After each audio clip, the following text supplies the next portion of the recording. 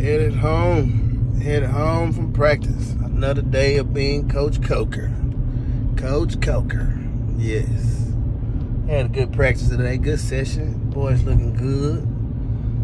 They passed the spider stage. They don't look like spiders no more. So they playing the ball to the outside, talking, communicating, working through the middle, playing to the outside, working through the middle, playing to the outside. They look good, I must say. Distribution look well out there.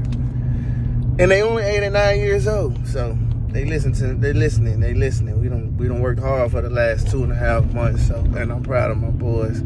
Season kickoff next weekend, and uh, we're gonna be ready to go.